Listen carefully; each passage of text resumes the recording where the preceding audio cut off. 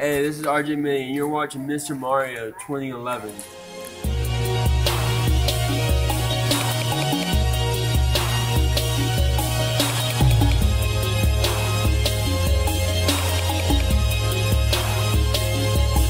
Hey, so what is going on, everyone? It is me, Mr. Mario, and I had this topic for a commentary that I wanted to cover. Just literally popped into my head, and I pulled out my mic, decided to hook it up.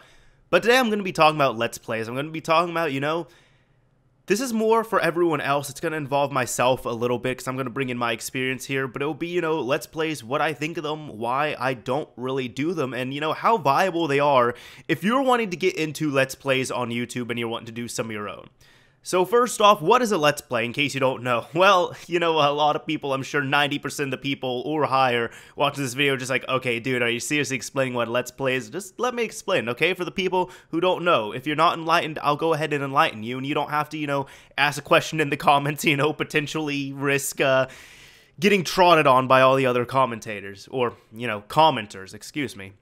Now, a Let's Play is essentially just somebody takes a microphone, hook it up to a computer or they hook it up to their capture card or whatever, and they record themselves playing a video game, and they also record their audio and their reactions and everything. And there are different types of uh, Let's Plays and everything.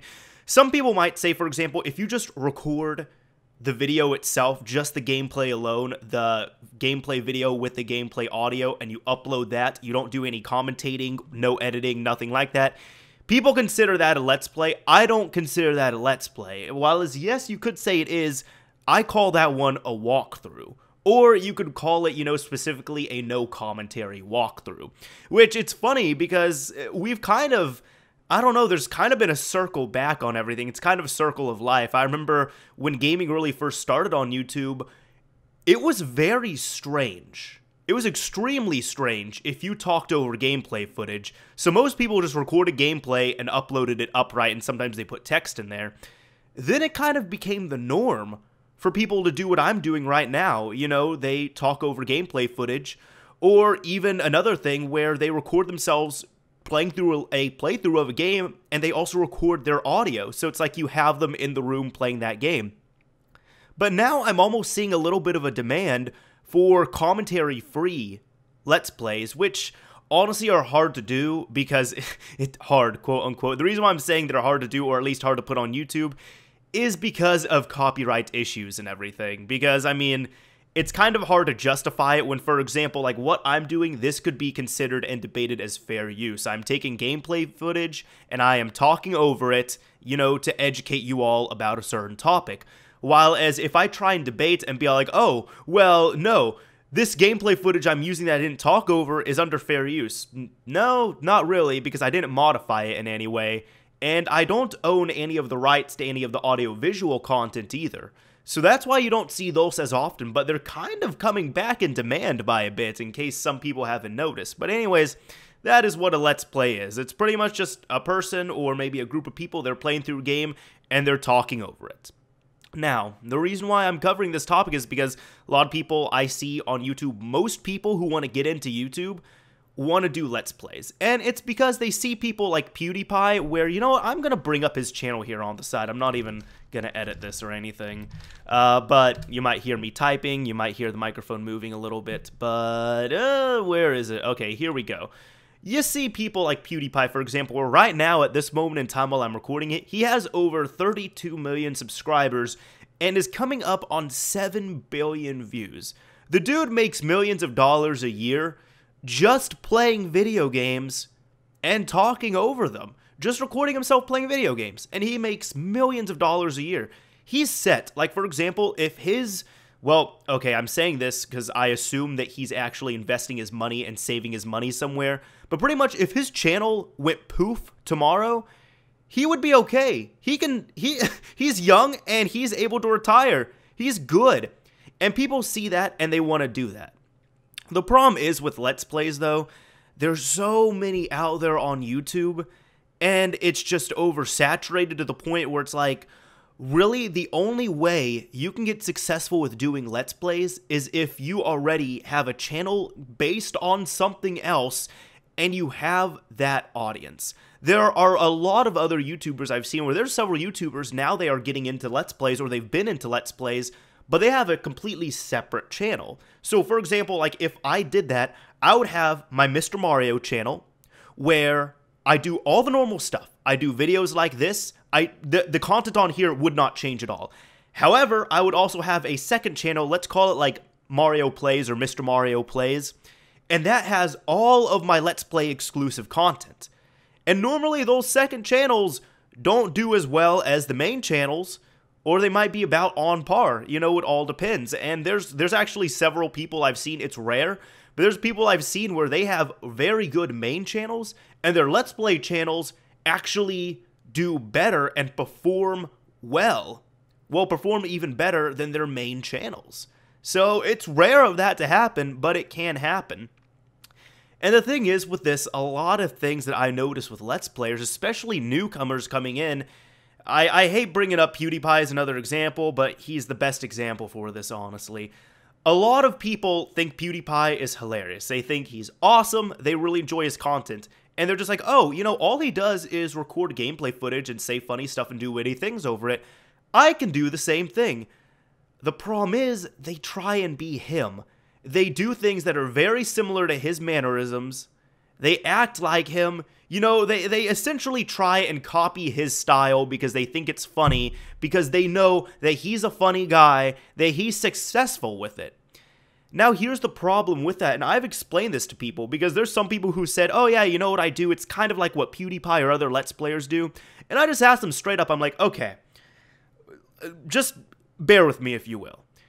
I myself am a viewer. It costs me nothing but time to watch videos. I don't have to pay for videos or anything like that. If I can watch PewDiePie, or I can watch you, who you are saying you're just kind of a newbie, you're kind of like PewDiePie. So that obviously it's going to imply, because nobody's awesome at this when they first start, but it's going to imply that you're pretty much a worse version of him and you're not him. Why would I watch you when I can watch the better version of that? Or it's kind of like getting a certain type of soda, you know? If you prefer the name brand stuff and it's on sale and it's cheaper than the off brand stuff, why would you waste your extra money buying that off brand stuff that's more expensive that you know you don't like as much when you can get the name brand stuff for, you know, even less or the same price? It's really that same setup with Let's Plays. Now, one reason why I don't do them is because they are easy. Honestly, they're, they're quite easy to do. However, it's a big time commitment, and for the time commitment that you put in, you don't really get you you just you don't get as much attention, you don't get as many views. And some people might say, "Oh, you know, so you're into YouTube for views, you're a view whore." Well, here's another logical thing, okay? One, I don't consider myself a view whore because I don't do clickbait or misleading titles or misleading thumbnails or anything like that. What you see is what you get when you click the video. However, the other thing I say to view, view whoring is, so you're pretty much saying every single person who uploads videos publicly is a view whore. Because the point of uploading a public video to YouTube is for it to get views. Right? Can we agree with that? Now, it's understandable if someone said, oh, I'm not a view whore. Well, you know, really, with that logic, the only way, if you're saying, you know, you're trying to upload videos to get views that makes you a view whore, really the only thing that you can do is just to refute that is either upload unlisted or upload privately. And it's funny because I haven't really gotten criticized that, but there's other YouTubers I've seen where they're fighting, and you know, like one person will call the other person a view whore, but this person is also a kind of big YouTuber, and they upload videos and all that. And my logic behind it is okay, if you're calling this guy a view whore for uploading these types of videos and you upload similar content, that would make you about the same. And then when they say that they're not a view whore, I, I'm just thinking, I'm like, you know, okay, if you weren't a view whore, you know what you would do? You would unlist all of your videos or make them all private right now. Because that would obviously mean you're not uploading for views. You're uploading, you know, solely for the pleasure of uploading and creating videos, and you don't care about views at all. Like to the point where you will even make your videos private so nobody aside from you and people you email them to can watch. But of course, nobody wants to do that. So that's the whole thing with it. But when I was talking about it taking a, quite a bit of time, because some people might say, oh, well, you know, it takes more time for you to do your tutorials, modding videos, any type of videos like this. Here's the thing, a video like this, I'll tell you what I'm going to do. Right now I'm recording the audio. After I save the audio, I'm going to put it in a folder somewhere. Probably in a few days, I'll go ahead, pull that audio file, put it in my video editor, then throw in my intro, my outro, some music, and drop in gameplay footage, and then I'll export it and either that night or a few days later, I'll upload it onto YouTube. So there's several things I could do. Now, with a Let's Play, let's say you record four hours of gameplay for a Let's Play, and then you divide it all up into 20 minute chunks, so that's 12 videos right there. And they're super easy to edit, you all. They are, I've done Let's Plays before, they are so easy to edit. The thing is, during that four hour chunk, that is four hours where you have to be dedicated to what you're doing. Uh, you, most of the time, I mean, if I'm gonna sit there and do a let's play, do like a gameplay commentary where I'm actually sitting there and talking actively, it, eh, mainly a good example of this is when I'm streaming. When I'm streaming, I'm not to go and get up and get food. I'm not going to use the bathroom. Like, I have to do all that stuff before. Like, if somebody comes over, they're just like, oh, hey, do you want to hang out right now? I'm just like, well, I'm kind of in the middle of this stream, so can't really do it. Pretty much, if I have like a three hour stream allocated, I have to make sure I'm dedicated to that. Now, of course, there are going to be times where I might take a few minute intermission, you know, just to walk around, just to use the restroom, anything like that. But you all understand what I'm saying. For that point in time, for those few hours that I'm working on that, I have to stay dedicated to it. That is why I say it's it's a bigger chunk of time being demanded from you. And also, if you do it like that, so if you do, you know, an entire game upload, that's kind of I don't know, it's kind of lazy content I want to say compared to other type of content you would be watching because pretty much from almost every YouTuber I follow, I would much rather have content like similar to this like opinionated stuff um, anything like that, as opposed to a Let's Play. And another big thing with a Let's Play is let's say I do a Let's Play of an entire game, where you're going to notice that every single time you upload a video, it's going to get less and less views, because that's an entire series. Like, nobody really wants to start a Let's Play at part 32. No, more than likely, humans are going to want to start it at part 1. But when they say there's like 50 parts to this Let's Play, they're probably not going to watch it. Honestly, I very rarely watch Let's Plays, and the only times I really watch Let's Plays are if it is somebody I really like and I don't mind watching the video footage. And the reason why I say that is because there have been several friends I've talked to where they upload Let's Plays. Like a friend of mine, they played through like an entire chapter of Walking Dead Season 2, and they streamed it, and then they just left on their channel, and they messaged it to me, they're like, hey, can you check this out, because we, we did this before, and they asked me if I saw it, and I was like, no, I'll be straight up, I didn't watch it. And they asked me to watch it, and I told them no. And they were kind of disappointed. I said, listen, I'm not, it's not that I'm being a dick. The thing is, I want to play that game. And I would much rather play it myself as opposed to spending like pretty much, I think their stream was like two hours. And I said, you know, I'm just like, it's nothing against you because I watch your other videos, but I would much rather spend that two hours playing the game myself and experiencing it with my own two hands as opposed to just watching it on screen. Because those are just all sorts of spoilers and then you're going to be playing it and everything. But you know there's other people who are able to do it quite well. Uh, one of the few people that i do watch let's plays from very rarely do i bring up names in my commentaries but i mean i'll just do it now you know as an exception. I said pewdiepie but uh, Dashie, Dashie Games, like he he has a main channel, Dashie XP, really funny guy. His his sense of humor is like right up my alley. And then he does Dashie Games, which is like the exact same sense of humor, except he plays games. And his gameplay, like his Let's Play stuff, it's it's a lot more drop in, drop out. And by that I mean you can skip like 20 parts and then catch back up. I mean, unless you really, really care about the story. But what I'm saying is, you know, his is a lot more accessible, at least to me. And, you know, his stuff will make me laugh a bunch. So there's things like that that I enjoy. But a majority of the time, I really don't watch Let's Plays, I'll be honest. So, would I recommend getting into YouTube with Let's Plays? Absolutely not. Because you're really not, it's going to be hard to find success with it. Now, one thing I've seen be successful, which I've been very impressed with, and again, it's not it's not guaranteed success, but from what I've seen, it is more successful than starting out as let's plays on YouTube. Uh, have been gameplays and let's plays on Twitch. Uh, one of my good friends, and I, I don't want to say his real name, but I don't know in, in UFC Shifty, that's his name. I I didn't I don't think he would care if I said his real name, but I didn't want to say it. Uh, he I've known him for quite a bit, and uh, actually with the Xbox One, he started streaming on Twitch, and he just gets a game, he pops onto Twitch, he starts streaming, and he has a little bit of a following on there. And it's not like five people watching. I mean, it's not like huge. Like, for example, there's maybe 30, 40, 50 people watching. I haven't really tuned into his streams, but we have talked about it, you know, one to one.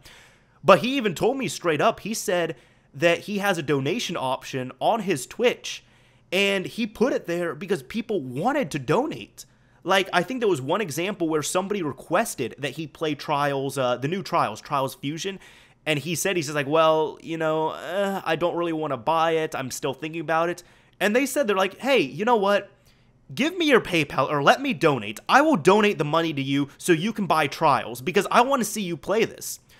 So I've seen more success like that. And then there's another YouTuber I know of where they have actually they were doing some let's play stuff and they were doing, you know, decently well with it too. Uh, for a starting channel, they were doing let's plays on YouTube and I will say, I don't want to say sexist about it, but I really do think it helped out quite a bit that she was using a face cam and that she's quite attractive. So that definitely helped out. I really think it did. But she's kind of stopped doing the YouTube thing a bit. She's doing it just not as often, but she's now streaming on Twitch a lot and she's having some success with that too. And from what I'm I mean what I'm saying here is Twitch is also a big time sink and it's a big time investment. But I've seen more success off Twitch than off YouTube.